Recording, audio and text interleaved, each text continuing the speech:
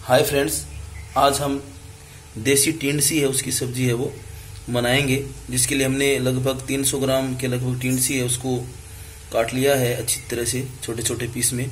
इसके अलावा हमने डेढ़ डेढ़ चम्मच, छोटा चम्मच नमक लिया है, लहसुन लिया है, हल्दी ली है डेढ़ चम्मच, और दो चम्मच धनिया लिया है, लाल मिर्च पाउडर लिया है डेढ़ चम्मच, प्याज बारीक कटे हुए लिए हैं और दही मसाले में मिला करके डालेंगे। जिस चीज़ की करी है वो बहुत ही अच्छी है, वो आपको दिखेगी।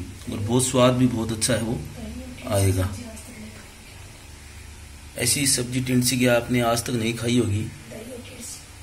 देखिए टेंसी में जो दही मिल जाएगा तो उसका जो टेस्ट है वो बढ़ जाएगा। अब सबसे पहले हम कढ़ाई में लो फ्लेम में गैस पे रखते हैं उसमें डेढ़ बड़ा चम्मच तेल का डालेंगे।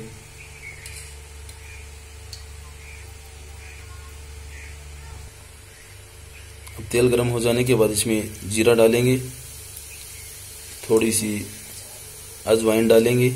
इससे जो हाजमा है, बड़ा ही अच्छा रहता है। मेरी जो हर रेसिपी में आपको अजवाइन है, वो डाली भी मिलेगी। क्योंकि हाजमे के लिए अजवाइन है, वो बड़ी ही अच्छी मानी जाती है।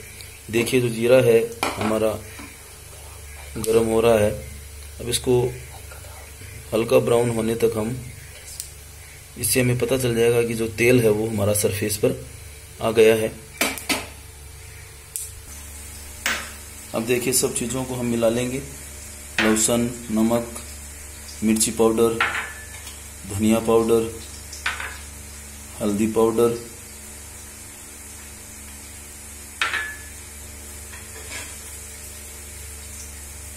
इसे मिक्सअप करेंगे। इसमें थोड़ा सा पानी डाल करके हम इसे अच्छी तरह से मिक्सअप करेंगे, ताकि सारे मसाले हैं वो आपस में मिल सकें। उधर हमारे जो कढ़ाई में जो प्याज डाले थे, हमने तेल में वो पक रहे हैं। साथ साथ में आप मसालों को तैयार कर लें। ये देखिए, अब जो मसाले हैं, हम जो हमारे प्याज है, वो लगभग पक चुके हैं। इसमें हम मसाले जो मिक्सअप किए थे, वो डाल देंगे और उसे तीन चार मिनट के लिए अच्छी तरह से अब देखिए, ये जो मसाला है हमारा, तेल को अलग छोड़ने लगा है, यानी कि पकने में है अब। अब देखिए इसका जो टेस्ट है, वो बड़ा ही अच्छा आएगा और कलर देखिए आप, एकदम सुनहरा लाल। बड़ी ही लाजवाब सब्ज़ी बनती है, जो स्वास्थ्य के लिए भी काफ़ी लाभप्रद होती है। बाज़ारों में जो टिंडे मिलते हैं, उनमें वो टेस्ट नहीं जो इस सब्ज़ी में आपको मिलेगा। एक बार ज़रूर ट्राई करें और प्लीज़ वीडियो को अंत तक अवश्य देखें और अपने घर पर सब्ज़ी बनाने का की जो ट्राई है वो आप करें। ये देखिए, अच्छी तरह पकने देंगे हम। अब देखिए, इसमें हम जो दही हमने लिया था, लगभग 100 ग्राम के लगभग, उसे हम डालेंगे और इसे मिलाते रहेंगे, नहीं तो ये जो दही है वो फट जाएगा और जो हमारा जो मसाला है वो ख़राब हो जाएगा। अच्छी तरह से मिलाते रहेंगे। जो करी है हमारी, इसमें जो ग्रेवी है वो अच्छी पकेगी। ये देखिए, दही हमारा मसाले ने पूरा ऑब्ज़र्व कर लिया है। ये देखिए इसका रंग कितना अच्छा लग रहा है। ये देखिए, जो ग्रेवी है थोड़ी गाढ़ी होती जा रही है। इसको लगभग हमने पाँच से सात मिनट तक पकाया है। तभी जो दही है वो उसके जो सारे कण हैं वो मसाले में मिल गए हैं। अब देखिए जो तेल हमारा सरफेस पे आ गया है।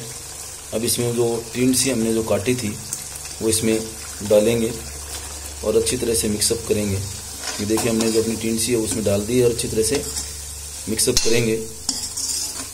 ये देखिए, हरा और लाल रंग कितना अच्छा लग रहा है। ये देखिए, अच्छी तरह से मिक्सअप करेंगे। तीन बड़ी चम्मच इसमें हम पानी डालेंगे लगभग, एक गिलास के लगभग।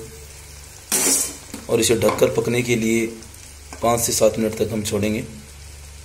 ये देखिए।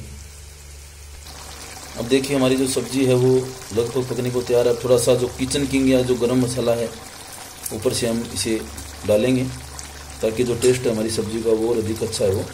हो जाए। ये देखिए।